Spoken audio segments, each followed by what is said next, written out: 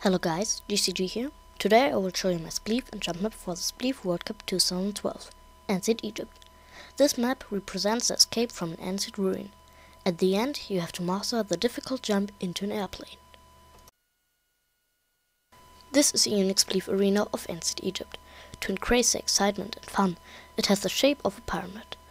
No match is like the other, because the opponent can always come from behind.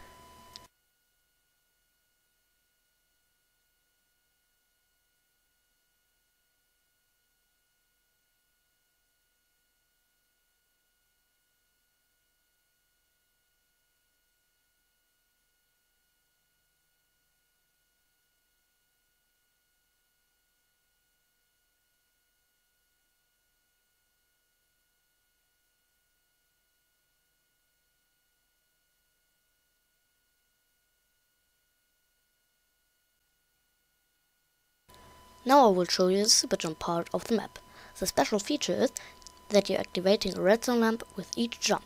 From the platform you have to master several easy and hard jumps, climbs with vines and at the end a 5 block jump in the airplane. If you like this video please rate, comment, subscribe and leave a diamond on Planet Minecraft. The link is below. Have a nice day or something else. My name is GCG.